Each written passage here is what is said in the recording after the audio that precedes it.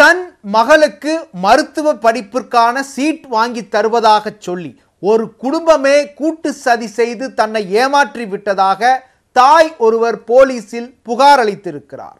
காவல்துறை நடவடிக்கை பாயுமா? தன் மகளை வாழ்வில் எப்படியாவது மருத்துவராக்கி பார்த்துவிட வேண்டும் என துடித்த இந்த தாயிடம்தான் ஒரு குடும்பமே மோசடி செய்துள்ளது.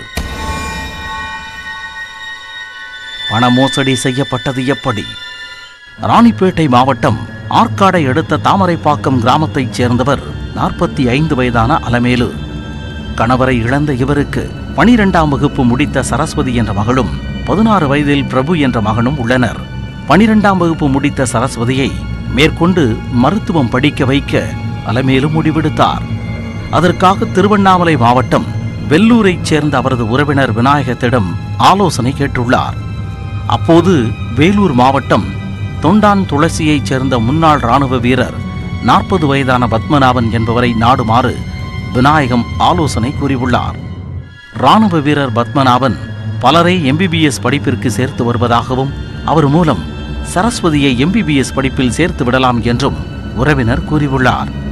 மேலும் பத்மநாபனின் செல்போன் நம்பர் மற்றும் விவரங்களை அலமேலுவிடம் வழங்கியுள்ளார்.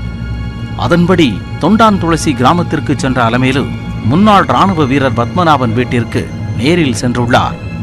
அங்கு அவரிடம் தனது மகளுக்கு மருத்துவக் கல்லூரி ஒன்றில் சீட் வாங்கி தரும்படி கேட்டுள்ளார்.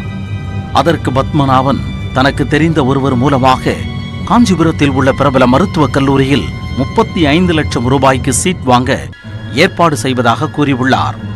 அதற்கு முன்பணமாக அலமேலுவிடமிருந்து பல தவணைகளாக பணம் வாங்கினார் பத்மநாபன். பத்மநாபன் மட்டுமின்றி அவரது மனைவி விஜயா மகன் பிரபு மகள் சோனியா உள்ளிட்ட குடும்பமே அலமேலுவிடம் திட்டமிட்டு ஏமாற்றி பணம் பறித்துள்ளனர். மொத்தமாக ஐந்து லட்சத்து ஐம்பதாயிரம் ரூபாயை பெற்றுக்கொண்ட பத்மநாபன் குடும்பம் ஒரு மாதத்திற்கு மேலாகியும் மருத்துவ கல்லூரிக்கான சீட் வாங்கித் தரவில்லை. அலைமேலு இது குறித்து பத்மநாபிடம் கேட்டபோதெல்லாம் சமாதானம் கூறி நாட்களை கடத்தி வந்துள்ளார். ஒரு கட்டத்தில் தான் ஏமாற்றப்படுவதை உணர்ந்த அலமேலு பத்மநாபனிடம் தன்னுடைய பணத்தை திருப்பி கேட்டுள்ளார். பலமுறை கேட்டபின் பத்மநாபன் ஒன்றரை லட்சம் ரூபாயை மட்டும் தந்துவிட்டு மீதமுள்ள நான்கு லட்சம் ரூபாயை தராமல் ஏமாற்றியுள்ளார். மேலும் அலமேலுவை தகாத வார்த்தைகளால் பேசியும் கொன்று விடுவதாகவும் மிரட்டல் விடுத்தும் வந்துள்ளார் பத்மநாபன். இதனால் பயந்து போன அலமேலு ராணிப்பேட்டை மாவட்ட காவல் கண்காணிப்பாளர் தீபா சத்தியனிடம் புகார் மனு அளித்துள்ளார். தன்னை ஏமாற்றி பணம் பறித்துக் கொண்டு கொலை மிரட்டல் விடுத்தவர் மீது உரிய நடவடிக்கை எடுக்க வேண்டுமெனவும் மகளுக்கு மருத்துவம் படிக்க சீட் வாங்கித் தருவதாக ஆசை வார்த்தை கூறி ஏமாற்றிய பணத்தை மீட்டுத் தரவும் கோரிக்கை வைத்துள்ளார். அவங்களும் என்கிட்ட உண்மையாக சொல்லியிருக்கிறாங்க இது போல். எங்க ஃபோன் பண்ணி கேட்டப்போ என்னங்க சார் நீங்கள் பணம் கொடுக்குறோன்னு சொன்னீங்க இப்போ கொடுக்குறீங்க அப்போ கொடுக்குறேன்னு சொல்கிறீங்க ஒழுங்காக எங்களுக்கு எந்த பதிலும் இல்லையே. அப்படின்னா இல்லைம்மா நான் கேரளாவில் இருக்கிறேன். நான் எப்படி உங்ககிட்ட அந்த மாதிரி பண்ணுறேன்னா அந்த மாதிரி சீட்டு வாங்கி கொடுக்குறேன் அங்கெல்லாம் கூட.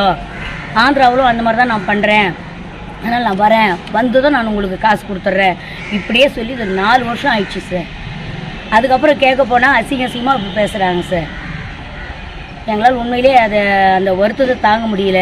இதையடுத்து எஸ்பி உத்தரவின் பேரில் டிஎஸ்பி பிரபு தலைமையிலான போலீசார் மோசடி செய்தவர்களிடம் விசாரணை நடத்தி வருகின்றனர்.